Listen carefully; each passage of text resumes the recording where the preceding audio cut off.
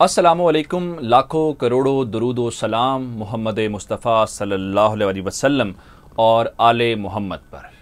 मैं हूँ उमर दराज गोंदल और आप मेरा यूट्यूब चैनल देख रहे हैं। आप बहुत सारी वीडियोस में, न सिर्फ़ मेरी वीडियोस में, बल्कि और भी बहुत सारे यूट्यूबर्स होंगे या जो दीगर सहाफ़ी हैं, उनकी गुफ्तगु के अंदर तीन, चार, पाँच चीज़ें बड़ी मुश्तरक देखते होंगे और ये मैं मानने में इसमें कोई कबाहत नहीं है। यानी जब ईरान की बात होगी तो ये नहीं हो सकता कि ईरान की पॉलिसी को ईरान की खारजा पॉलिसी को या ईरान की सिक्योरिटी पॉलिसी को लेके आप अमेरिका का ज़िक्र ना करें। आप इस सिलसिले में इसराइल के ऊपर होने वाले हमलों और इसराइल की सिक्योरिटी की बात ना करें आ, या फिर आप सऊदी अरब की बात ना करें आप यमन के हौसियों की बात ना करें। यह भी नहीं हो सकता कि शाम का तस्करा ना हो। यह भी नहीं हो सकता कि इराक के अंदर अमरीका के अंदर होने वाले हमलों को हम नज़रअंदाज कर दें। या फिर हिजबुल्ला हमास फ़लस्तीन, ये सारे मामला तो आम तौर पे हम सुनते हैं। एक और अहम मामला जो हम रोज़ाना की बुनियाद के ऊपर उससे जुड़ी खबरें आपके सामने रखते हैं, वो ईरान का जौहरी प्रोग्राम है। उसके मुतलिक भी आपको खबरें देते हैं, बैलिस्टिक मिज़ाइल्स के मुतलिक भी आपको खबरें देते हैं, और ये भी बताते हैं कि कौन कौन सा नया असलहा जो है, वो ईरानी सामने लेके आए हैं। लेकिन अगर मैं आपको ये बताऊँ कि अमरीका, इसराइल या किसी भी सऊदी अरब जैसे या मुतहदा अरब अमारात के अलावा कुछ और ऐसे ममालिक हैं जिनकी अपनी इंटेलिजेंस एजेंसीज की रिपोर्ट से बता रही हैं कि ईरान उनकी नेशनल सिक्योरिटी के लिए, उनकी बका के लिए खतरा है। या फिर मैं आपको अगर यह बताऊँ कि एक और यूरोपीय मुल्क, यानी इसके अलावा जो कह रहा था ये हमारे लिए खतरा है, एक और यूरोपीय मुल्क की इंटेलिजेंस एजेंसी एक ऐसी रिपोर्ट बताए और वो इंटेलिजेंस रिपोर्ट जारी की जाए, उसकी गवर्नमेंट की जानब से, जिसमें यह कहा जाए कि 2015 के माहदे के बावजूद, ईरान ने इस बात के ऊपर समझौता नहीं किया कि उसकी जो कौमी सलामती को लेकर जौहरी प्रोग्राम है, उसके ऊपर कोई कंप्रोमाइज़ किया जाए। और ईरान आज उस मकाम के ऊपर है, जहाँ पर वो उन्होंने मैस डिस्ट्रक्शन का लफ्ज़ इस्तेमाल किया है। हम जाहरी बात है ये नहीं समझते, क्योंकि ईरान अपने तहफ़ का हक रखता है और उसको हक है कि वो एटमी प्रोग्राम बनाए। क्योंकि या तो दीगर ममालिक भी जो है वो ख़त्म करें। अगर वो ख़त्म नहीं कर सकते तो ये नहीं हो सकता कि आप बाकी को महरूम रखें। मैं आज आपके सामने इन सारे ममालिक जिनका मैंने पहले तस्करा कर दिया है, उनको छोड़ के आज दो यूरोपीय ममालिक का तस्करा करूँगा और आपके सामने रखूँगा कि ईरान का एटमी प्रोग्राम, ईरान की कुछ फोर्स और ईरान की इंटेलिजेंस एजेंसीज का ऑपरेशनल सलाहियत और दुश्मनों के ऊपर अपना खौफ बिठाने का जो सिलसिला है, वो कहाँ तक पहुँच गया है? मुकम्मल तफसीत लेके आपकी खिदमत में हाजिर हुए हैं, लेकिन उससे पहले आपसे गुजारिश करेंगे कि हमारा यूट्यूब चैनल सब्सक्राइब कर लीजिए, बेल आइकन के ऊपर क्लिक कर लीजिए, ताकि हमारी आने वाली वीडियोस आप तक बर वक्त पहुँचती रहे। वीडियो को लाइक भी कीजिए, कमेंट भी कीजिए और शेयर भी कीजिए। खबर ये जो मैंने आपको दी है, दो ममालिक हैं। उनमें सर फहरिस्त स्वीडन है। हालाँकि आप ये कहेंगे कि स्वीडन का और ईरान का आपस में क्या ताल्लुक है? और स्वीडन क्या खार खा रहा है ईरान के जौहरी प्रोग्राम से या ईरान से? और दूसरा मुल्क जर्मनी है। हालाँकि जर्मनी का किरदार इस सारे अमल के दौरान जो वियाना के अंदर बातचीत हो रही है, उसके अंदर जो पी फाइव ममालिक हैं, पाँच वो ममालिक जिनके पास कौमी सलामती के अंदर कौमी सलामती कह रहा हूँ, सलामती काउंसिल के अंदर जो वीटो की पावर है, उनके अलावा जो वियाना के अंदर बातचीत करें, जर्मनी उसके अंदर शामिल है। उसको भी ईरान के एटमी प्रोग्राम से मसला है और उसको ये लग रहा है कि एटमी प्रोग्राम उस नहज पे पहुँच गया है जहाँ पे वो हथियार बना सकते हैं या बना चुके हैं तकरीबन। सबसे पहले बात मैं स्वीडन वाली आपके सामने तफसीत रखना चाहता हूँ। जो स्वीडिश सिक्योरिटी सर्विसेज़ है, यानी उनकी जो सरकारी एजेंसी है, उसने अपनी सालाना जो एनुअल ईयर बुक है, वो जारी की है।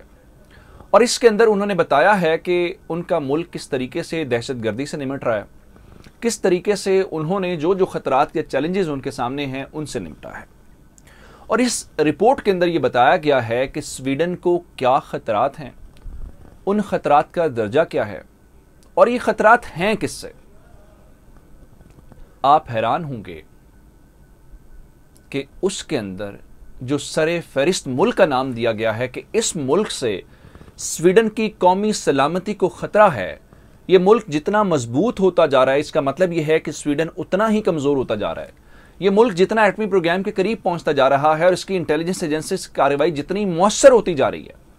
इसका मतलब यह है कि स्वीडन अपने, उतनी ही कमज़ोरी अपने जवाल की जानब जा रहा है। इस रिपोर्ट के अंदर जो स्वीडन की गवर्नमेंट ने जारी की है, तीन ममालिक के नाम लिए गए हैं। ईरान का मैंने तस्करा कर दिया है, दूसरा मुल्क रशिया है और तीसरा मुल्क चाइना है। ये वही तीनों ममालिक हैं जो अमेरिका के लिए भी ख़तरा हैं। ये वही तीनों ममालिक हैं जो सऊदी अरब के लिए भी ख़तरा हैं। ये वही ममालिक हैं जो अमेरिका के इतिहादियों के लिए ख़तरा हैं, यूरोप के लिए। अब मैं आपके सामने कुछ मजीद तफसीत जो स्वीडन की अपनी गवर्नमेंट ने रिपोर्ट जारी की है, उसको लेके मैं रखना चाहता हूँ। यानी मैंने आपको तीन ममालिक के नाम बता दिए, मैंने आपको बताया कि उसमें बताया गया ख़तरात क्या किस्से हैं। ये छियासी सफ़ात पर मुश्तमिल एक रिपोर्ट है सालाना जो वो जारी करते हैं।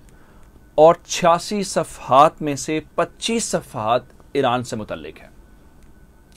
इन सफ़ात के अंदर तकरीबन चौदह बार ईरान का नाम लेके ये बताया गया है कि ये चैलेंज हमारे लिए सबसे बड़ा है। ये तो ओवरऑल थ्रेट या चैलेंज बताया गया है, उसके अलावा स्वीडन की गवर्नमेंट ये खुद मान रही है, स्वीडन की एजेंसीज ये खुद तस्लीम कर रही हैं कि जो कुछ फोर्स है जो ईरान का इंटेलिजेंस का नेटवर्क है, वो स्वीडन के अंदर इंतहाई मज़बूत है। और वो कह रहे हैं कि यूरोप के अंदर कार्रवाइयाँ करने के लिए, यूरोप के दुश्मनों के ऊपर नज़र रखने के लिए, उन तक एक्सेस हासिल करने के लिए, उनकी इंटेलिजेंस हासिल करने के लिए जो मरकज है, वो स्वीडन बना हुआ है। ऑपरेटिव सेंटर जिसको वो लफ्ज इस्तेमाल किया गया तो स्वीडन ने अब दुहाइयाँ देनी शुरू कर दी हैं कि भाई अमेरिका इसराइल की तो समझ आती है, ये हमारे साथ किस बात की दुश्मनी है? हालाँकि ईरान की बरह रास्त तो कोई कॉन्फ्लिक्ट नहीं है स्वीडन के साथ, लेकिन ईरान चूँकि अपने आप को एक बड़ी ताकत के तौर पे मनवाना चाहता है और बड़ी ताकत के तौर पे तैयार कर रहा है। इसलिए ये खबर आपके सामने रखी है कि ये स्वीडन की गवर्नमेंट ये मान रही है। अब चलते हैं जनाब अगले मामले के ऊपर। ये तो स्वीडन का था। एक और यूरोपीय मुल्क है जो वियना के अंदर बातचीत के हवाले से फैसिलिटेट कर रहा है। उसने उसकी इंटेलिजेंस रिपोर्ट जारी कर दी गई है और उस इंटेलिजेंस रिपोर्ट के अंदर यह बताया गया है कि जो 2015 का एक माहिदा था, वो बुनियादी तौर पे अमेरिका की आँखों के ऊपर पट्टी बांधने के मुतरदिफ था। उन्होंने लफ्ज धोखे का इस्तेमाल किया है कि ईरान ने अमेरिका समेत इन ताकतों को धोखा दिया है। उनके मुताबिक, इन ममालिक के साथ माहिदा करके और उनको ये एहसास दिला के कि हम ये जो हथियार हैं वो नहीं बना रहे ईरान ने उसके बावजूद ये अमल जारी रखा और ये सलाहियत हासिल कर ली। और वो ये इस इंटेलिजेंस रिपोर्ट के अंदर मानते हैं कि जनाब, इस वक्त ईरान के पास वो मुकम्मल सलाहियत है जो एटमी हथियार बनाने के लिए किसी भी मुल्क के पास होती है। और वो मैस डिस्ट्रक्शन का लफ्ज इस्तेमाल करते हुए कहते हैं कि तबाही मचाने वाले हथियार बनाने की सलाहियत ईरान हासिल कर चुका है। जर्मनी ने भी वही शिकवा किया है और जर्मनी ने भी वही बात की है जो स्वीडन ने की है। जर्मनी कह रहा है कि हमारी सरजमीन के ऊपर कुछ फोर्स या ईरान की इंटेलिजेंस एजेंसीज कार्रवाइयाँ कर रही हैं या वो अपना नेटवर्क बना रही हैं और हम उसका तोड़ नहीं निकाल पा रहे। इससे एक और बड़ी बात आपके सामने रखना चाहता हूँ। वो ये है, वो ये फरमा रहे हैं अपनी इंटेलिजेंस रिपोर्ट के अंदर। तीन ममालिक का नाम लिया गया है।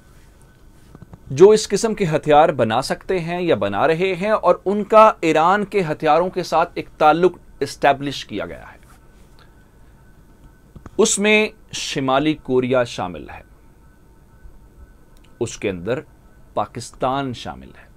उसके अंदर शाम का नाम लिया गया है। ये तीन ममालिक की कोलेबोरेशन बनाई गई है ईरान के साथ, जो ईरान सलाहियत हासिल कर रहा है। और इस रिपोर्ट की कंक्लूजन ये है कि अगर आप इसराइल की सिक्योरिटी आपको दरकार है, और अगर आप मशरक वस्ता के अंदर अपने इतिहादियों को महफूज बनाना चाहते हैं, जर्मनी, यूरोपीय यूनियन और अमेरिका अगर उन ममालिक का तहफ़ चाहता है जो यूरोपीय यूनियन जो मशरक वस्ती में उनके तहफ़ के लिए काम करते हैं तो इसका मतलब यह है कि इन ममालिक को ईरान के इस अमल को रोकने के लिए किसी भी हद तक जाना पड़ेगा। और वो ये तस्लीम कर रहे हैं कि ईरान अब उस नहज पे है जहाँ पे हम रोक नहीं सकते। इन दोनों ममालिक की इंटेलिजेंस रिपोर्ट या जो सालाना रिपोर्ट है, वो रखने का मकसद ये था कि ईरान किसी एक महाज पर नहीं लड़ रहा। ईरान बहुत सारे महाजों पे बड़ी वाज हमत अमली के साथ जो रहबर आला ने उनको दी हुई है, जो सुप्रीम लीडर ने उनको बताया, उसके ऊपर वो अमल दरामद कर रहे हैं और वो दुश्मन अपने मुँह से बोल रहे हैं कि भाई ये हमारे साथ कर रहे हैं। आप मुझे यानी उमर दराज गोंदल को फेसबुक और ट्विटर के ऊपर फॉलो कर सकते हैं, मेरा यूट्यूब चैनल सब्सक्राइब कीजिएगा। आपकी समातों का बहुत शुक्रिया।